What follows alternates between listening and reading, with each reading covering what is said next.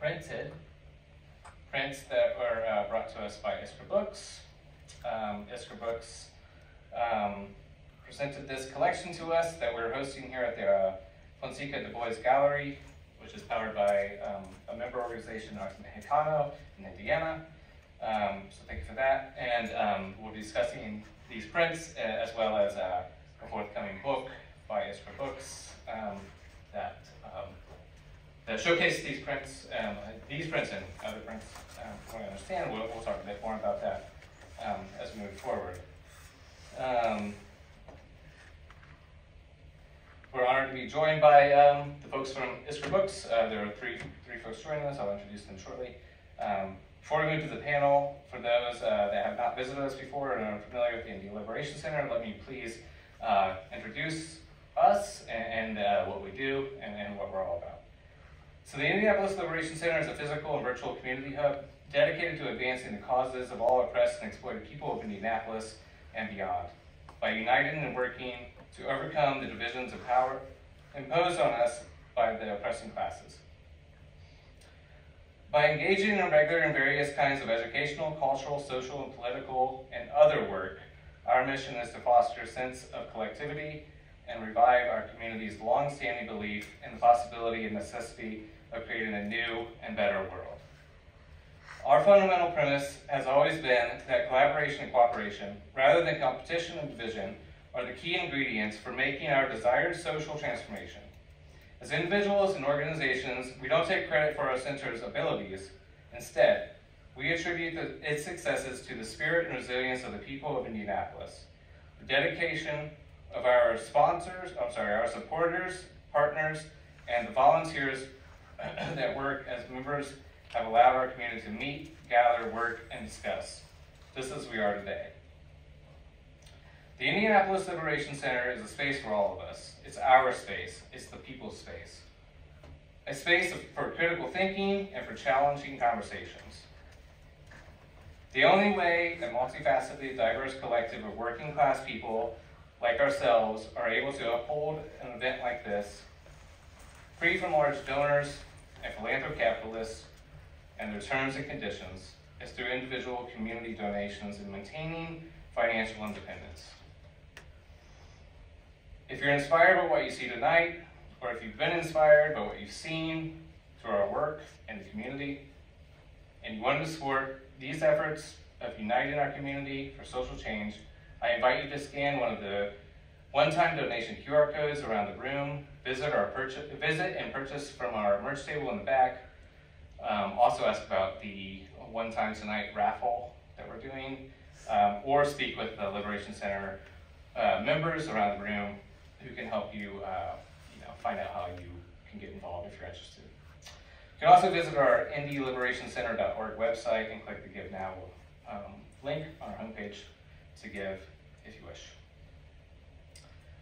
Those who have given in the past and those who, who contribute to contribute, um, we thank you and we, um, we're very thank thankful for your generous financial support. Without that, we wouldn't be here tonight. So we're here today to discuss art. Its emancipatory and unsettling potential. Art and the struggle for the liberation for Indianapolis to Palestine, to the Congo to Haiti, to Ireland and Korea. In the face of imperialist transgressions and violent oppression, artists and cultural workers around the globe are playing an important role in the struggle for liberation. They are doing so in part by spreading the message of solidarity with the people of Palestine, Yemen, the Central Sahel region, Cuba, and other subjected communities and oppressed nations. Art has always been a powerful tool for social political change. From the earliest cave paintings to the contemporary street art, to the Wobblies' Little Red Songbook, to the music of Public Enemy. From the murals of Belfast to the visual symbolism of South African protest theater. Artists of all type have used their work to express their voices on society and the world around them. Understood in the broadest sense to include music and street theater, as well as all forms of visual representation, artistic expression has an undisputed place in contemporary social activism. More stylized and professional art forms and artists have been involved in political protests and movements throughout the modern era, and the linkages between aesthetics and politics, art and propaganda, have long been debated. Can political art be good art? Can good art be political? How effective is politicized art and the artists who made it? What exactly does art do in demonstrations of political protest? Marxist-Leninist theory provides us a theoretical foundations and analytical framework for critical political reflection about class struggle, internationalism and anti-imperialism, and revolutionary liberation. Practicing Marxism has de demanded not only that art be set in relation to the social conditions that apply to it, but also to making it critical, also to making a critical revision of the history of art and revealing its conceptualized social role in each case of resistance and struggle. The Marxist conception of art itself is defined within the various historical contexts to which it arose. And yet, seized on and operationalized by the masses, art can become a tool for the oppressed and marginalized, signaling solidarity, expressing the struggle of work, the working class, challenging hegemonic ideologies, and influencing radical social change. Taken as a tool for social change, resistance is the condition of art. In our current struggle, the role of the activist artist is to create political art that evokes and stimulates a critical stance for the world, of the world. An example of this is the art of artists against apartheid. Another clear example is the art that surrounds us today in this room and will feature in Iskra Books' forthcoming publication, which we'll discuss soon. Art is effective in mobilizing an aesthetic consciousness for the masses. What such artistic representations, er, representations do is to jolt the viewer into questioning an all too familiar and largely unquestioned media-saturated world, the status quo of imagery. In Antonio Gramsci's prison notebooks writings, they teach us the status quo imagery in media and bourgeois art helps form and uphold the ruling class's cultural hegemony, or the accepted and consented to dominant worldview of society. Gramsci argued that, that radical social change should come not only from revolutionary politics, but also through the rise of counter-hegemonies and alternative cultures developed by disenfranchised groups. Through self-education, political organization, and the creation of new institutions of and for oppressed classes, a proletariat culture can become a tool in sharpening the contradictions and illuminating the exploitative nature of capitalist and imperialist societies. Art as a tool for social change, born from resistance, can be counter-hegemonic and emancipatory from the aesthetic, cultural, and political habits of the ruling class. From the Russian Revolution to the apartheid walls that try to separate Palestine from the rest of the world, protest art, art and protest, and the art of protest continue to play a vital role in transforming society and shifting perspectives. Art remains a powerful weapon of organizing and dissenting, provoking constructive dialogue, and creating space for debate beyond mainstream bodies of political discourse. The Liberation Center's series unleashing the creativity of the masses, exhibits and awakens an emancipatory potential, and embodies the struggle of a counter-hegemony that combats, and, uh, combats the ideals of the ruling class. In an ever-evolving struggle towards liberation and community, we must have art that reflects the wills and the desires of the working poor and the oppressed, rather than works that center on the whims of the privileged few. Creating, inspire, creating inspiring and meaningful artwork is a powerful tool to nourish not only just our own souls, but to empower our communities to imagine that a better world is possible. It affirms that art is not just a specific realm reserved for the only, uh, only for the elite, but rather a practice in which all working and oppressed people engage in which we are all capable. Art and artistic practices are a product of our social conditions, our historical moment, but also has the potential to, to disrupt, to challenge dominant narratives, to lay bare and sharpen the contradictions inherent to global capitalism. One of the most powerful aspects about art is that it is, it is for everyone, just as anti-imperialism is for everyone. And please let me uh, introduce the three panelists we have this evening, who you can see on the screen behind me. Or, I'm sorry, to my left. Um, we have first uh, Talia Lú. Sorry if I butchered these names, I really apologize. Talia Lú holds a master's degree uh, in library and information science and a bachelor's degree in history, I'm sorry, in art history. Uh, she studies Jewish history with an emphasis in anti-Zionism, editorial cartoons and their impact on the working class, Irish Republican history, and international communism history more generally. She, she firmly believes in Fred Hampton's statement that theory that no practice, uh, ain't, uh, theory with no practice ain't shit. Right.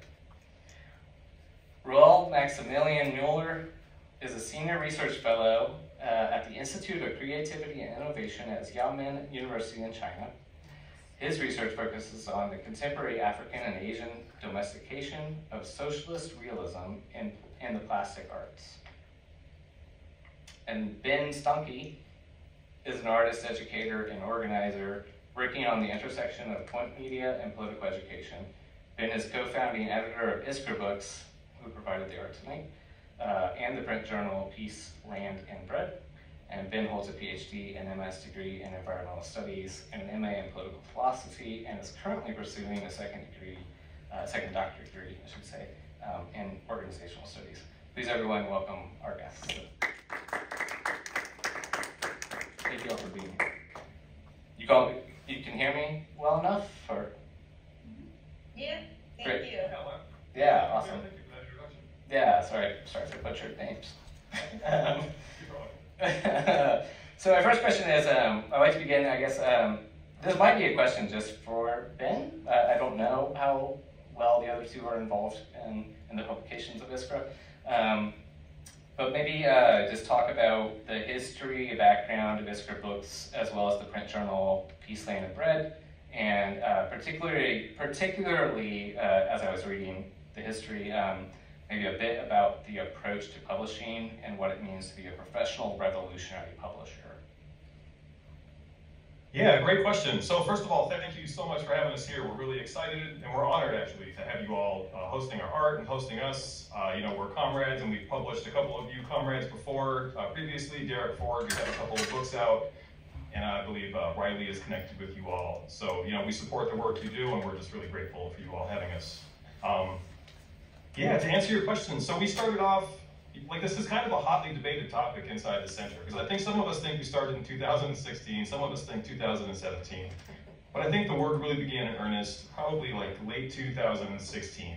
Um, we started off as an organization called the Center for Communist Studies. And the idea was that it was three of us initially. It's myself, a comrade named Ember Kelly, and then a comrade named Nate Reed, who is uh, sadly no longer with us, you know, at Iskra. Um, still in the world, just no longer with us in the organization. um, he's still around.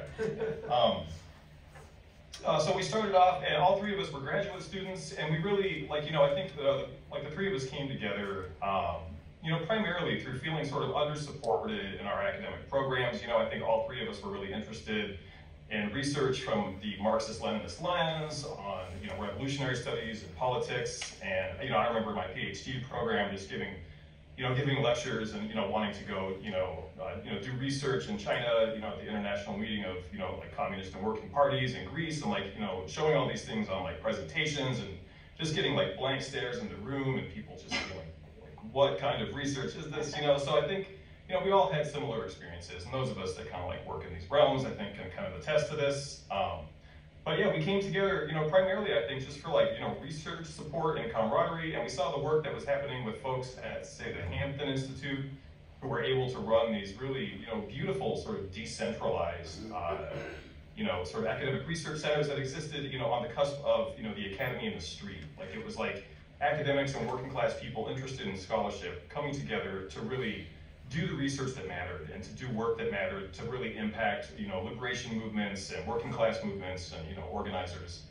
and so that was really the motivation, you know, that brought us together. Um, the three of us came from a previous organization where we had engaged in some small scale publications, um, had a, you know, uh, hosted like an online, you know, website with publications and like, you know, articles we hosted, published a couple of books, and, you know, we had left that organization just, you know, kind of feeling under supported by them and with some kind of organizational leadership issues.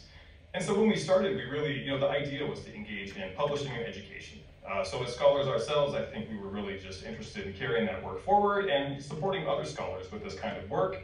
And so, you know, the goal was to always publish, but I think in the beginning, you know, we come from an organization that had a pretty large, you know, online following, and when we started up as the Center for Communist Studies, we thought, okay, we're just gonna keep rolling, we're gonna start doing the same thing, we're gonna, you know, people are gonna follow us and follow our work, and I think initially we began publishing articles online, and it was, you know, like a fairly steady clip, but the articles just sort of fell flat, and they weren't really like, like you know, we're getting a couple likes here and there and a couple reads, and it really wasn't as I think impactful as we had imagined. So we spent a lot of time really building up the platform, you know, building up the organization, bringing on a lot of other editors and organizers and scholars. Um, and I think it was really, it was 2019 we began to undertake the, uh, you know, print publishing a bit more seriously. In my PhD program, I had the opportunity to do an editorial assistantship in lieu of a teaching assistantship. So I did that and I had to have a deliverable, you know, from that uh, from that project, and the deliverable was Peace Land and Bread, you know. So I think we, you know, uh,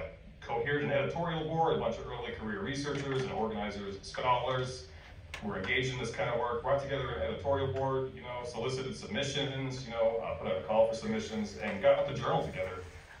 And that was really that was our first time jumping into print publication. I think we published the first issue 2020. Um, and it was just it was like way more successful than I think any of us could have imagined. Um, and it was really like it was exciting. It was really like uh, it was like really inspiring to you know to have it being met with you know such a great sort of response after years of publishing and not really having it take off. Um, and you know from that I think the initial to sort of touch on your question, you know the sort of intersection of art and politics and publishing. I think from the get go, you know I in addition to being a, like a person who you know, teaches in higher education and, you know, does this kind of stuff. I, you know, prior to grad school, I was a tattoo artist for 10 years, professional licensed tattoo artist in Olympia, Washington. And so I've always had this you know, deep interest in art. And, you know, I hadn't really, prior to publication, I hadn't, like, my art and my organizing were always separate, you know, and I'm, like, do a lot of organizing with the, uh, Communist Party. And, but, like, I had kept, for a long time, I had kept my art separate from my organizing and political work. But I think those two really, for some reason, it just came together. I think initially we had thought, okay, well, we can act as the editorial board. Uh, we'll bring on some externals for, for typesetters and designers, and you know that didn't really come through. And so it was like, well, we have a couple artists on staff here. Let's just see what we can make happen.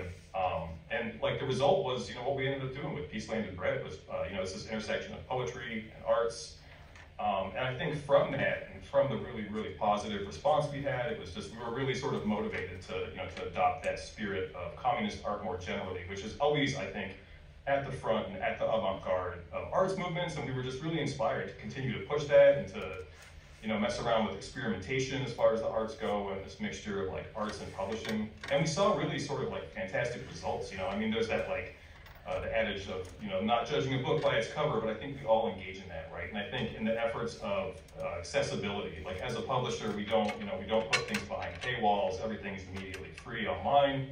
You know the, the publications that we do serve the movement. We don't want these things to be inaccessible to the people who need them most, right? So everything is free.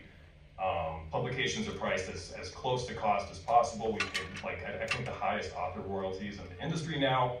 Um, and we give a lot of money back to the comrades who are doing the work. So I think as part of that, you know, sort of search for accessibility, we really, we just, you know, we saw it reflected in the feedback that we got, and we, you know, started to see and understand too that art really, you know, carries publications. And so I think where we're at now is really this beautiful intersection. We have like the comrades that are here with me today, uh, Talia, is on our steering committee. She's one of the core editors that really drives Iskra. Uh, Ruehl, we just brought on, I'd say a couple of months ago, but really fantastic, working on a really brilliant book called Building the People's Art that we have coming out, I believe, September or August. Um, yes, September 14th, hopefully, and it's focused on Vietnamese socialist realism from people. It's a theory based book.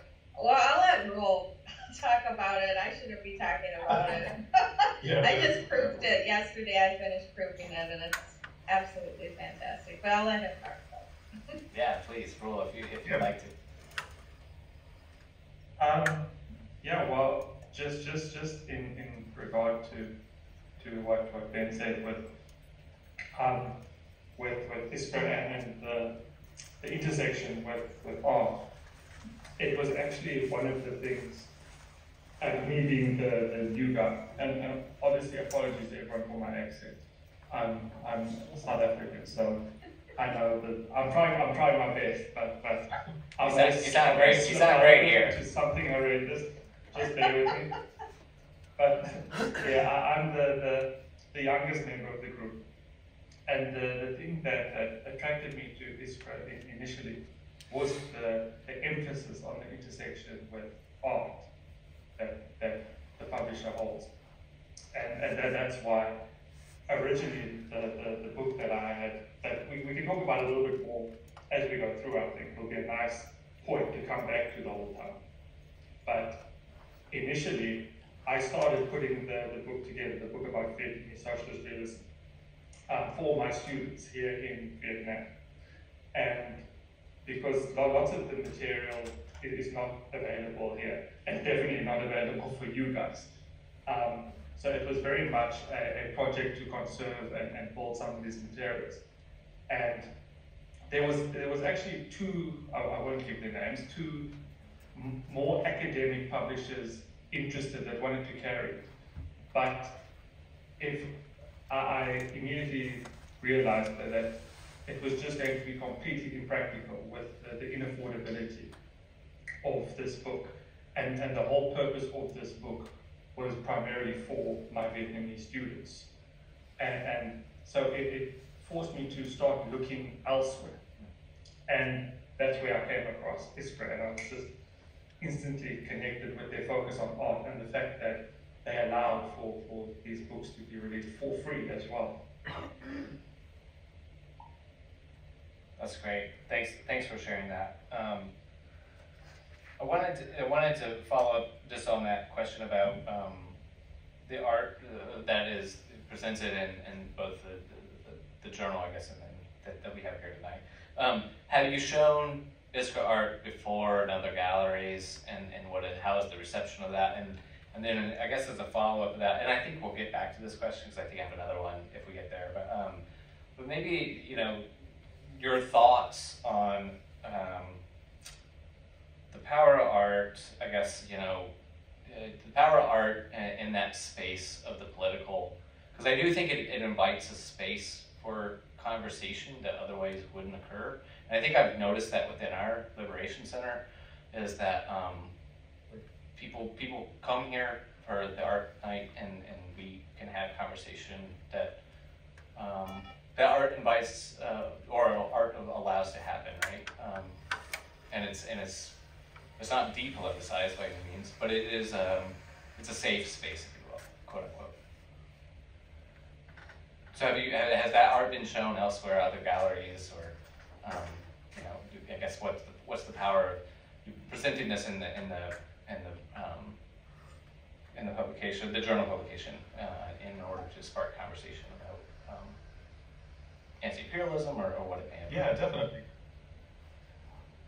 Yeah, we've had a couple uh, so far, I think, um, and if I'm mistaken, comrades, correct me, but I think we've done a couple of gallery showings, primarily nothing like what we're doing tonight, right? So this is really cool to have, like, you know, to have all of our art there. It's really awesome. This is a first for us. Um, but uh, prior to this, we've had a couple of pieces, uh, you know, Artists Against Apartheid. We had a couple of pieces uh, shown in that demonstration at the People's Forum uh, you know, which was primarily geared towards Palestinian liberation. And then we've had a couple of pieces shown at um, a good friend of ours, Ian Motchett, who runs the Swords into Plowshares uh, Gallery in Detroit, has hosted us a couple times um, as part of different shows. I think a couple shows, Capitalism or Eco-Socialism or Socialism or Barbarism was one of the shows, and there was another one that we were in. Um, yeah, we've done it a couple times, and it's really, really impactful. I think it's really impactful too, and I think, like you said, you know, there's such a it draws people in, right? And I think when we first started doing this, as far, I mean, just in the publications, there was um, it, like it wasn't, I mean, like a little bit in, you know, it rags like uh, Jacobin, there's a little bit of sort of crossover with like art and scholarship, you know, but it like wasn't really, not to the degree that I think we wanted to take it. Um, so much so that when we started, you know, we really tried to push the envelope a little bit with the art stuff and some of the early issues of Peace Land and Bread. Like, which I look back on right now, I can cringe a little bit, like, oh, we're going a little too far. Um, but I don't, you know, like whatever, it's in that spirit of like, you know, pushing the movement and sort of just experimenting, right? And seeing what sort of like, you know, resonates with people. But we actually have gotten a letter from a comrade uh, from, who was at the Communist Party of uh, Edinburgh or something, Scotland, Edinburgh, and they wrote us and they were like, what are you doing? Like you can't, like, you, like I think it was issue two of Peace Land Bread, which is arguably a little bit more, you know, yeah. They wrote us and they were like, you can't do this. This is not what a communist publication looks like. You know, it's at like, uh, you need to make your publication more like our publication. And he sends over this example. And the example, it looks like a, I mean, no offense, you know, to high schoolers, but it was like a high school newsletter. Like, it looked like the kind of stuff you worked on as part of like, uh, oh, you know, the yearbook team or something. It, it was very, very like low grade. It was just, it's like, like the same clip art that we've all seen, that we all like, I'm sure, like Marx and Engels and Lenin. It, it's just the same clip art that people have rendered into vectors that float around online. That when you type in like Marx, Engels, Lenin clip art, you know, it shows up. Um, and it was it was full of that stuff, and it was just really really tasteless. And the, you know, the guy really kind of laid into us, and it was like I, I you know I think in that regard we really it's like we're not trying to do art that, that like looks like communist art. Like we're communists, you know, and we organize and we're in It parties. is communist art because we communist are art. communist. And he called it a comic book. He called it the Peace Land Bread comic book. Ah, I like there's Like, this- comic book artists are amazing as well. Like, Yes. whatever. That whole exchange really upset me.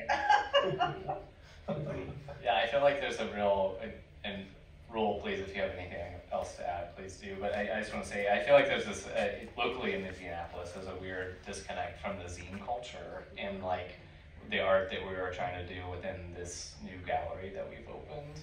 And so, but the zine culture has a lot of important things to say, and like, how do we bridge that gap? Um, I don't know if that's related to, to what you're talking about, but um, I think it. I mean, zines are so important to the movement, like especially in the early '90s, they like exploded. Um, it was a great way. Is the DIY culture? It was a great way for people to get across theory quickly.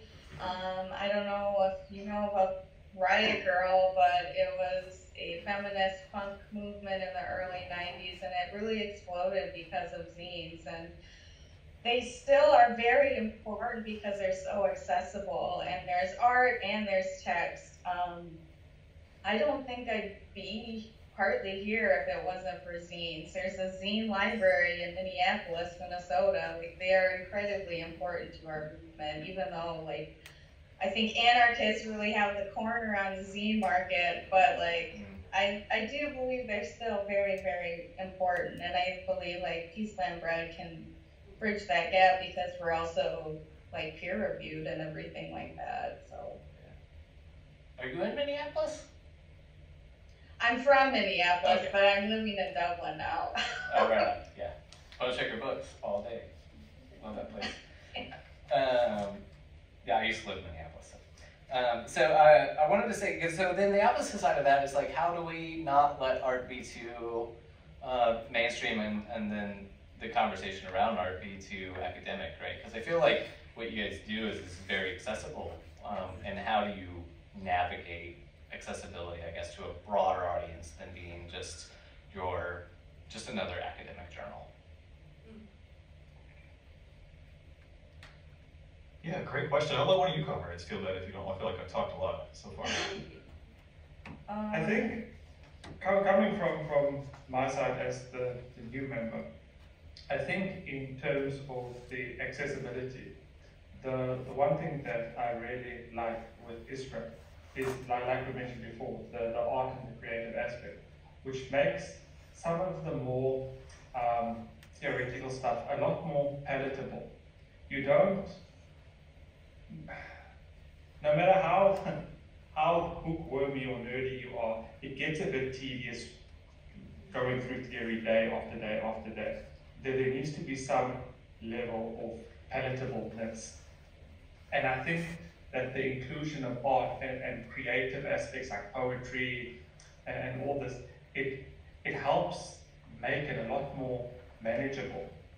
Um, I think on, on that, that point as well, if I can just add a little bit more, I, I think that, that what it does as well is there is, when looking at, at America and, and the West and the communist movements there, there is a lot of focus on practice, which, which is good, naturally, but not much focus on theory.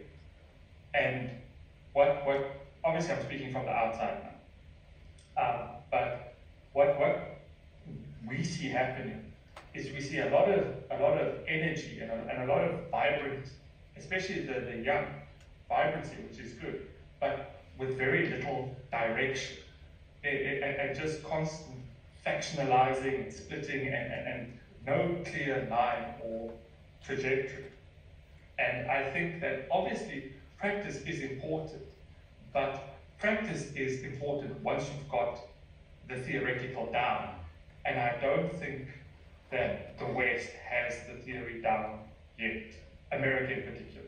I don't think America has the theory down.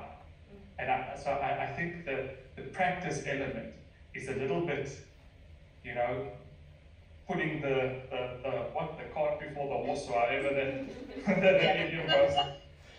You know? Yeah. So Yeah. I, I, I think there needs to be a double down on theory, and which, which obviously means encouraging theory, encouraging reading, encouraging all this, and and that's where this palatableness makes it quite quite good, quite positive. Well, that's a really good point. Yeah, I, I'm sorry to cut you off. I, I I think that's a really good point. I actually wanted to. oh, I'm sorry. I'll let you go ahead, Talia. Oh, okay. Uh, yeah, I was just gonna go off of that uh, because uh, I found a book from the uh, early 30s, I believe, that was produced by a artist named Hubert Ge- Hu- Hugo Gellert, who was like a committed communist for his whole life, and it's called Capital and Lithographs. And his whole idea was to make capital palatable. So he had lithographs for each section of capital. So you have the visual literacy and then you have the theory. So people could understand this is what Marx is talking about. And it, they're just like excerpts from Capital, like a minute. And I think I, we're going to be republishing it hopefully by the end of the year, um, if everything goes well. Uh, but yeah, I, I totally agree with you that like you have to make it palatable, and that's why putting things, including art with the theory, is really important because you'll not only see what this theoretical concept is, you'll understand it a lot better. Yeah, I think also too, just to sort of wrap up really quickly, there's to to keep art from being just, I mean, art for art's sake, I think is one thing, and it's beautiful, and like art is fantastic, and I think as artists we like we engage in that, and there's like therapeutic dimensions, but I think we're really specifically interested, right, in the politicization of art and using art for the polit- like like for political purposes, right? And there's this beautiful quote I just pulled it up. It's always on my mind, right? Walter Benjamin. Uh, so mankind's self-alienation has reached such a degree that it can experience its own destruction as an aesthetic pleasure of the first order. This is the situation of politics which fascism is rendering aesthetic. Communism responds by politicizing art. So that's all fascism has, right? Fascism, all it has is the sort of like, uh, like, like it's got raw emotion. It doesn't have theory. It's got raw emotion. It has the aesthetics and the red caps, you know, and the American flags, and like it has all of the sort of hallmarks of, you know, fascist aestheticization, but to sort of flip that on its head, right? Communism has to politicize art. Like we have to make art that's political, and even if we're doing art for art's sake, that art has to by nature be politicized, and we have to use that as part of the movement, right? So I've always found that quote to be really beautiful. Sorry for just jumping in. I know you wanted to say something, um, Zachary, but um, yeah. No, that's great. Thank you. Thank you very much for that. Um, I think you covered actually what I was going to ask about, and that was just about like how can we further in tandem by exposing people to radical art, um, in tandem, you know, exercise political education within our space, within all of these radical community spaces, People's Forum being one. Um, you know, how, how those conversations happen in tandem, I think is something that we are in early days of navigating within our center. So if any of three of you have any ideas about that, um, how we can do arts gallery nights, in addition to, and granted, I mean, this conversation is fantastic, good thing you're reading here, but, you know, how we can, yeah, how we can deepen the conversation, I guess. I can talk a little bit about what I've done. Um, since I am in Ireland, um, whenever I have friends or comrades come visit, I will always take them to Belfast to see the murals. And that opens up a wide conversation about the political history of Ireland and how the six counties are still under occupation. Um, those murals are so critical for political education because everyone can see them because they're so big, they're so powerful, they change continuously, so you're never going to see the same murals. On Sunday, they're um, unveiling a whole, a whole wall of Palestinian solidarity murals.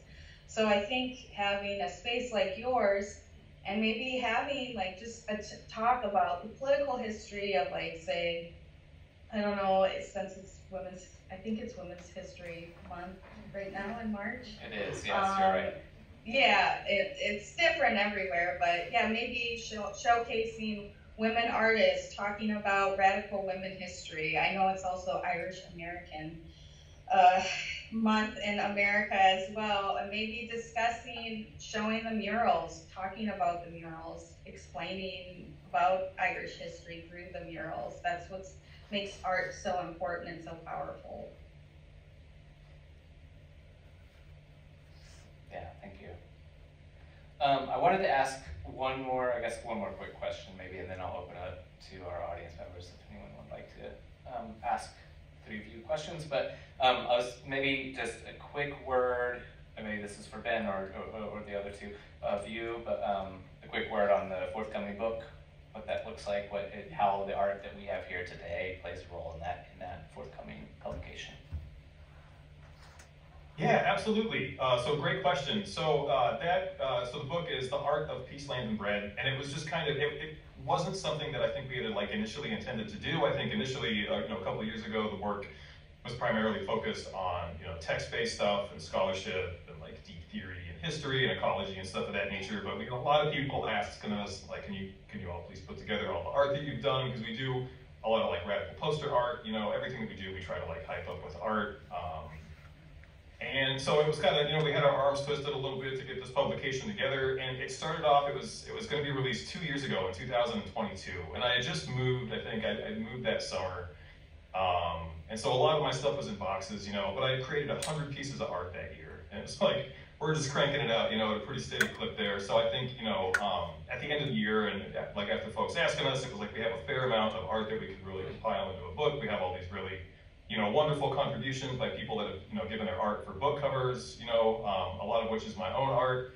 And so, you know, we began to compile it, and then I think, you know, what happened is we just began to get like more contributions, you know, the art continued to grow, and then the project didn't come out in 2022, and it was like, okay, let's make this a 22, you know, 23 sort of you know, dual year annual kind of a thing. And then it didn't come out in 23, and there's just so much more, I think, than that, uh, you know, that can go into this book. And so I think, you know, where the book is at now, it's going to be, uh, you know, it's going to cover the span of, you know, like two and a half, three years. It's slated hopefully to come out this summer or at the end of spring. Uh, you know, Derek Ford is writing a really fantastic uh, foreword to the book. Uh, Sarah Full is writing an afterword to the book and it should be really fantastic. And we're gonna, you know, what folks can expect from the book is a really, you know, beautiful, high quality. Uh, we're actually just uh, the way that we publish and print and distribute.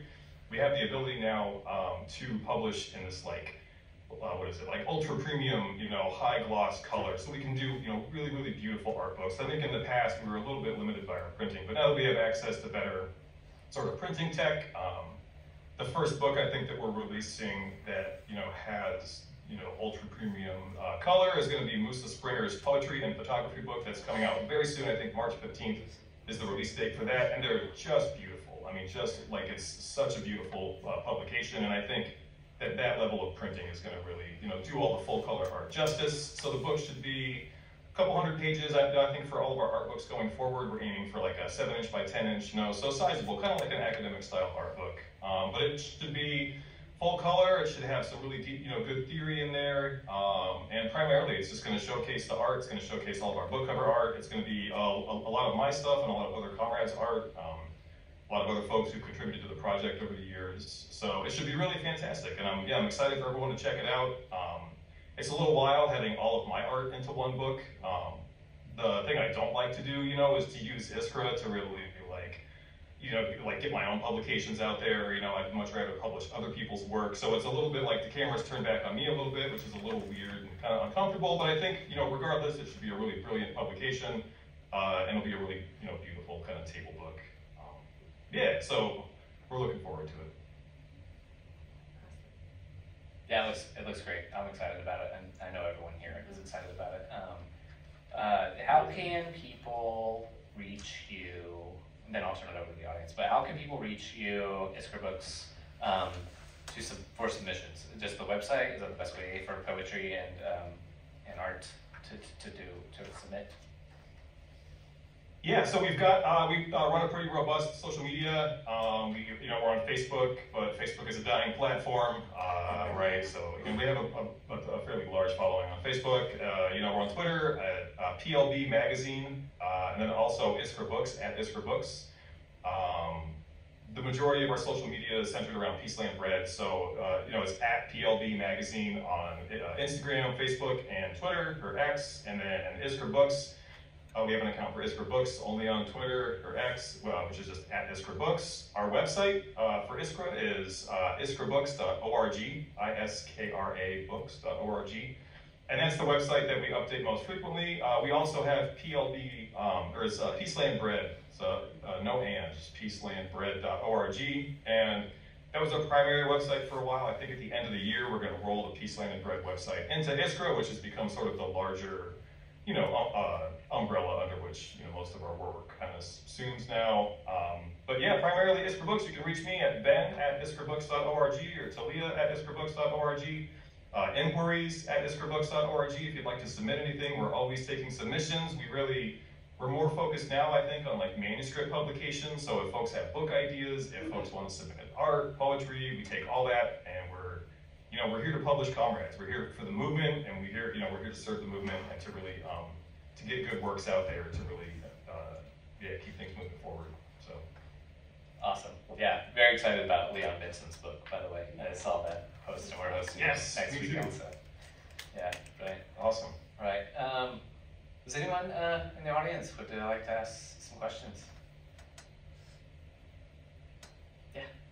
Um, well, before I ask my question, I also wanted to say it's really cool how what a small world we live in, where like it, it, things keep connecting, like between groups on the left, like uh, you know, publishing companies, parties, other all kinds of organizations, like just like getting closer and closer. Uh, like I definitely, Talia, I definitely recognize your voice from like various podcasts that I've listened to.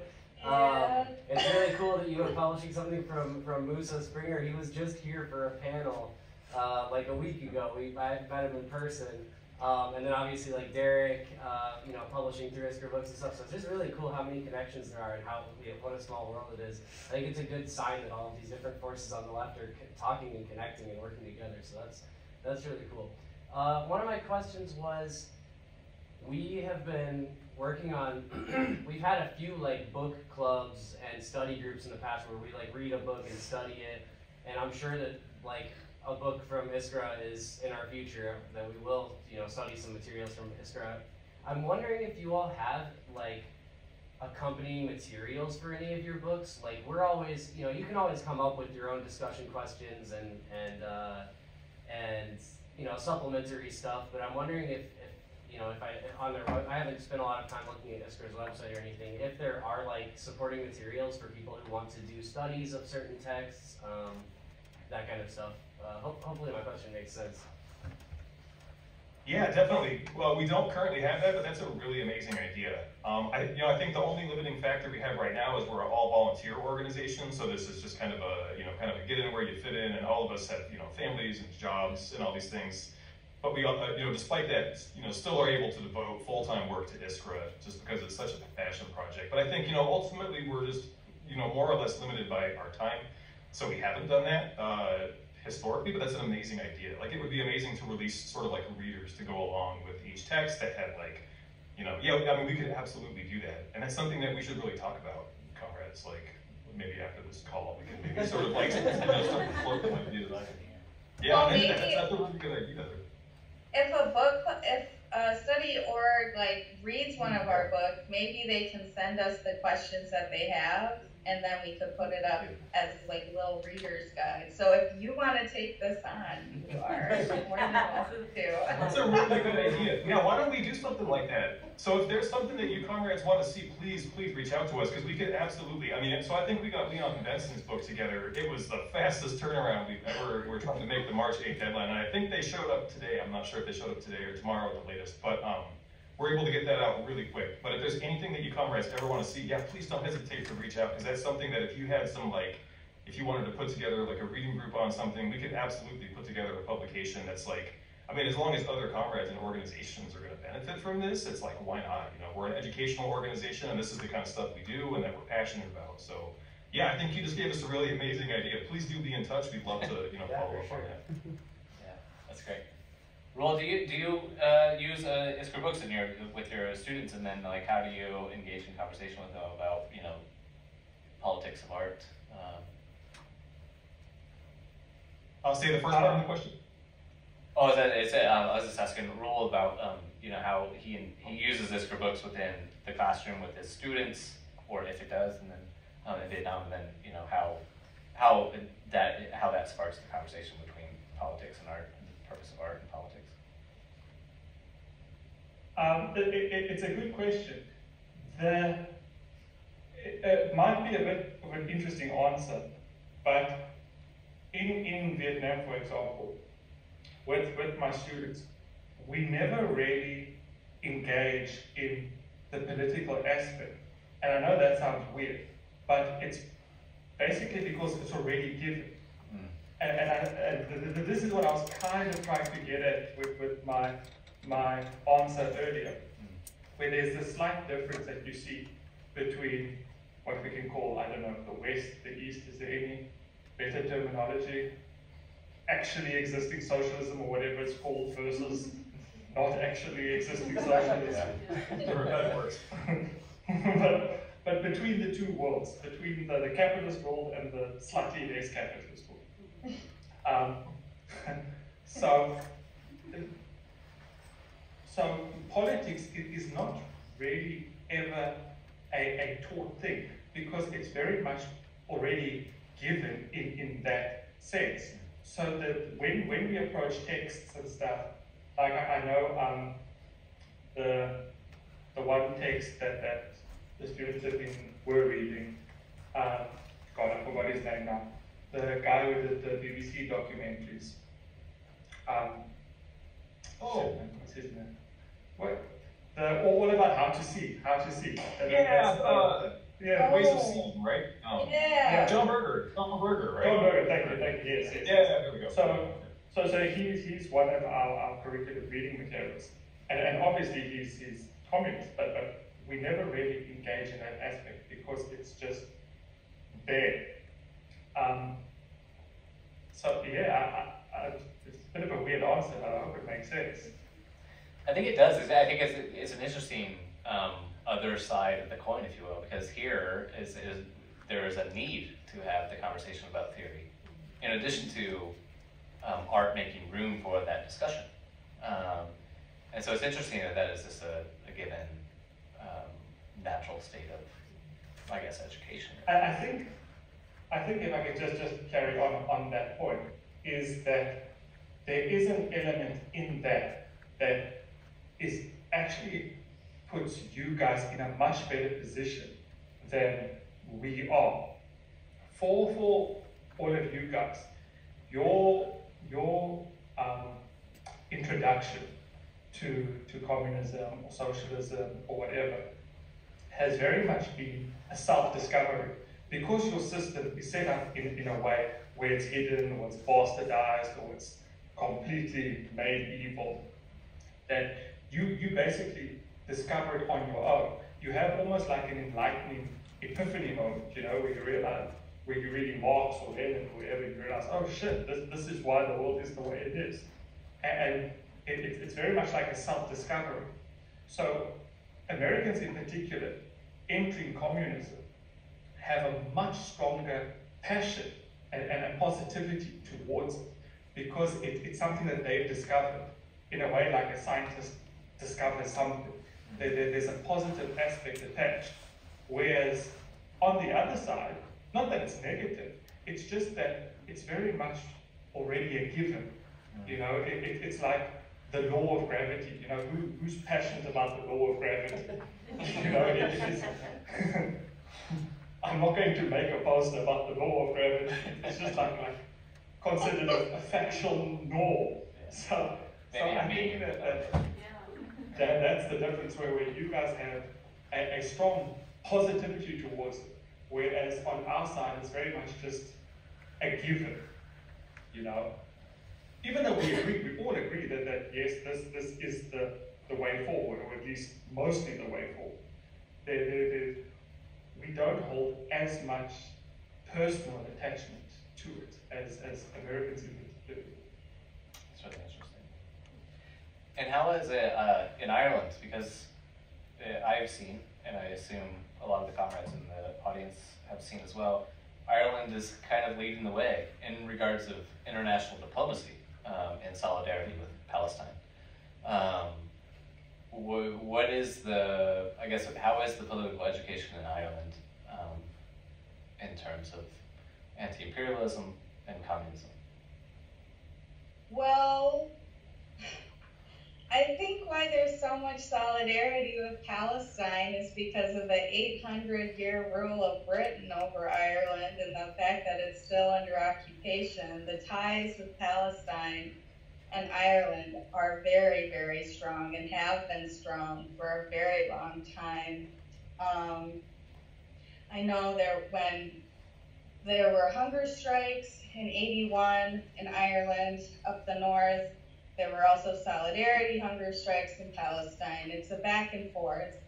Um, and what's ironic is during the so-called troubles is that the Communist Party did not take part in that.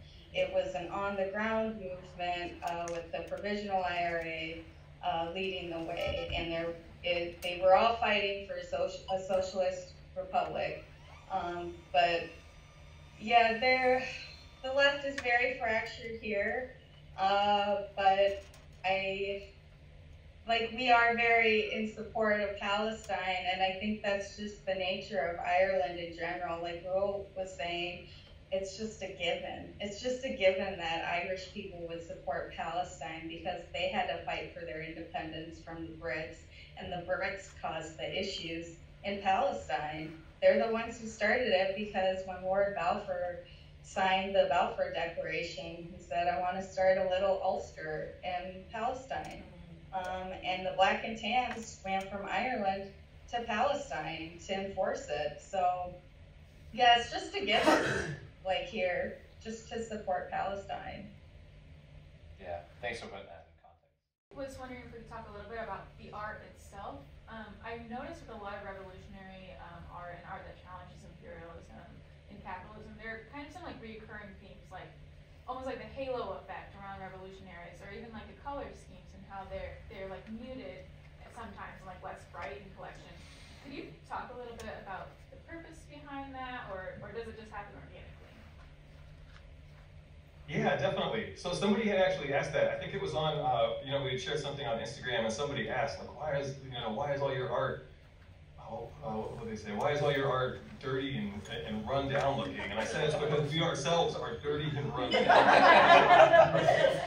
and it just comes out that way. But I think, you know, more so, I think, you know, I'm an atheist. Um, I don't really want to be, I, I just can't help it, you know. But I think that, you know, for lack of having any sort of like, you know, uh, religious cosmology or anything, you know, we make saints of revolutionary leaders, you know, and like we have to like look to people, you know, for our own sort of like humanistic religion or something, or I do anyways, you know. And so I think when I do a lot of these like halos around revolutionary leaders, it, it's just for me because I don't have anything else in my life that I sort of like look to. I know other comrades are a lot different, and you know, religion should and does, you know, sort of permeate the movement. But I just, you know, for me personally, I think that that's what I'm doing there. I've only ever had the opportunity to think about it because I think people inside of Iskra are like, what's up with the halos, Ben? And it's like, that's a good question. So I think in like reflecting on that, I think that's kind of what I'm doing here. Um, as far, yeah, as far as other, no, no, go ahead, Talia. Oh, I just thought it was like an emphasis on like the face